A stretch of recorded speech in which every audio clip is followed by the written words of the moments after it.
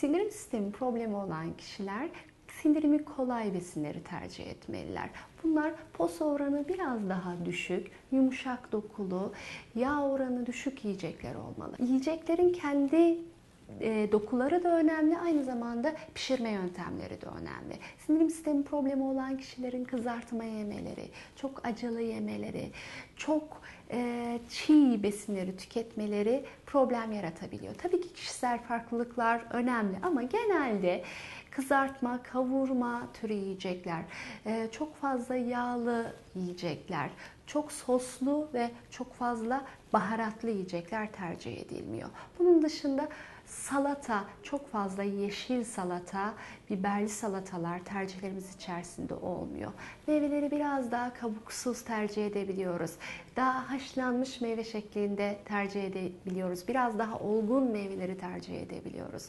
E, sebzelerde ve kuru baklagillerde çok gaz yapıcı oranı yüksek e, besinleri tercihlerimizde azaltabiliyoruz. Özellikle kükürtlü, gaz yapıcı, lahana, brokoli, karnabahar, e, Brüksel lahanası gibi sebzeler gaz oranı daha yüksek sebzelerdir. Bunları pişirirken biraz daha özenli olabiliriz.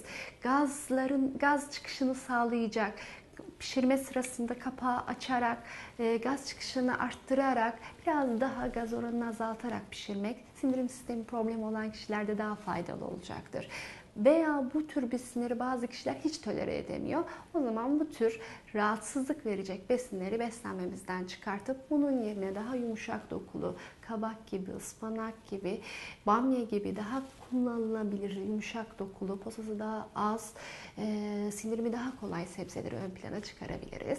Nişastalı besinler de önemlidir. E, makarna gibi, e, pirinç gibi besinlerin sindirimi daha kolaydır. Patates daha kolaydır.